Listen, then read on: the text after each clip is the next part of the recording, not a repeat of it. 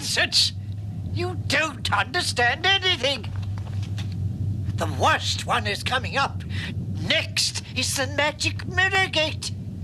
Atreyu has to face his true self. So what?